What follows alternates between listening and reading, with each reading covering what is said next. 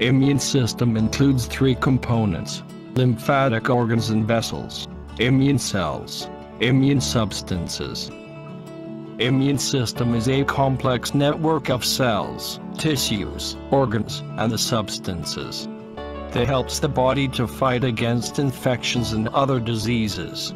The immune system includes white blood cells and organs and tissues of the lymph system, such as the Thymus gland, spleen, tonsils, lymph nodes, lymph vessels, and bone marrow. White blood cells are produced inside the bone marrow. Stem cells in the bone marrow differentiates into different types of white blood cells. These group of cells called granulocytes. They are called by this name because they contain granules filled with lysosomes. This group includes neutrophils. They kill and digest bacteria and fungi.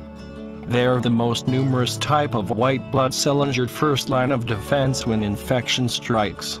Basophils.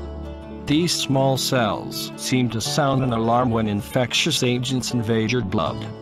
They secrete chemicals such as histamine, a marker of allergic disease, that help control the body's immune response. Eosinophils. They attack and kill parasites and cancer cells, and help with allergic responses. Melanocytes.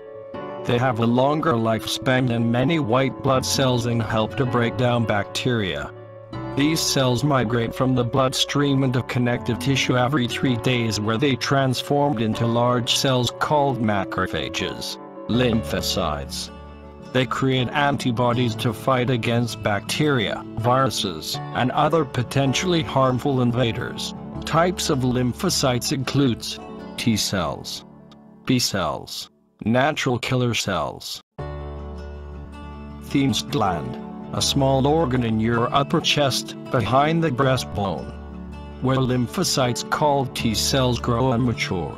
The T cells differentiates into T helper cells with CD4 antigen, T cytotoxic cells with CD8 antigen and T suppressor cells.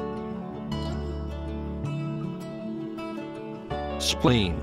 A fist-sized organ at the upper left of the abdomen, just behind the stomach.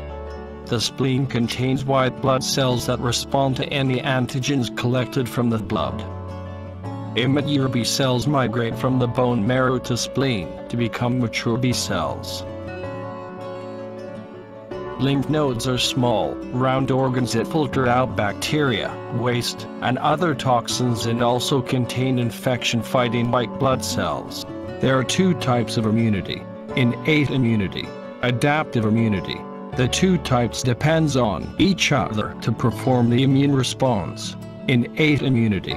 It is non-specific. It has immediate immune response. Adaptive immunity. It is specific. It is delayed immune response. There are three lines of defense. First line of defense. Second line of defense. Third line of defense. First and second lines represent innate immunity. Third line represents adaptive immunity. The first line of defense includes the skin which cover the whole body, tears in the eyes, mucus and respiratory tract, saliva in the mouth, earwax. The function of this line is to prevent any microbe or foreign body from entering the body. When the first line of defense fails, the microbes enter the connective tissue of the body. The second line of defense begins its work by mast cells and basal cells that secrete inflammatory substances, the most important of which is histamine.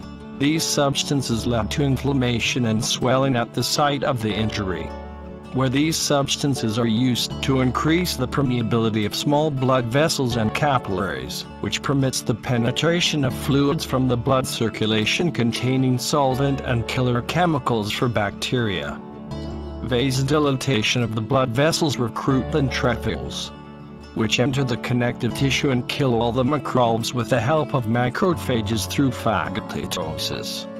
Inside the phagocyte, the granules interact with the microbe and release substances which destroy the microbe into small pieces. a small piece of the foreign body moved toward the surface of the macrophage and introduced on its surface, to be used later by the B cells in order to produce antibodies against this type of microbe. The neutrophils undergo apoptosis forming a thick yellowish-white liquid called pus.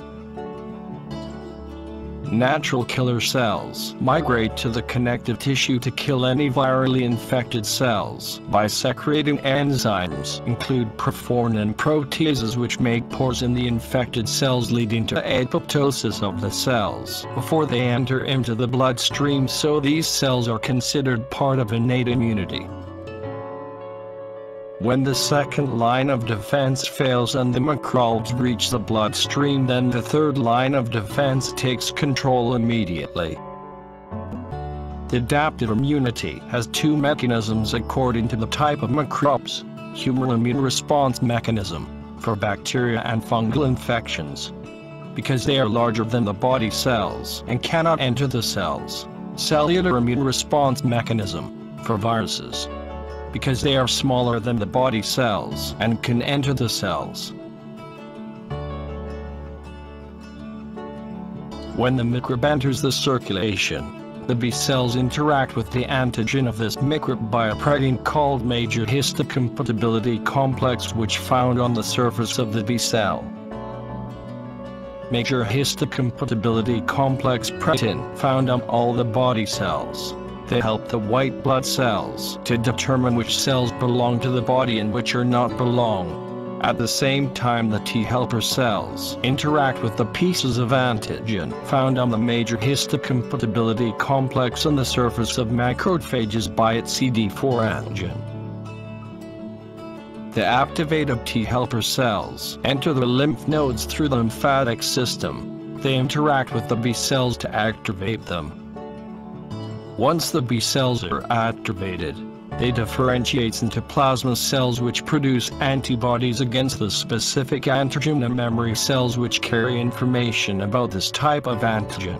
So if the body infected by this antigen, again they can change into plasma cells to produce antibodies against this antigen. Plasma cells release antibodies against the microbes in the blood circulation the antibodies directed towards specific microbes and kill them.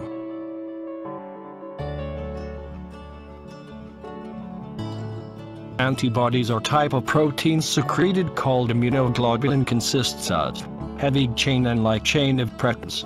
They kill specific microbes through neutralization, agglutination, precipitation, lysis, antitoxin. There are five types of antibodies. IgM, IgA, IgG, IgE, IgD. The activated T helper cells activate cytotoxic T cells.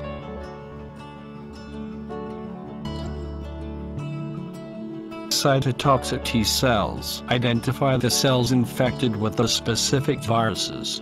They secrete perforin enzyme. This enzyme causes perforations in the cell wall leading to its death. After all the body is free of microbes, T suppressor cells secrete chemicals which terminate the immune response.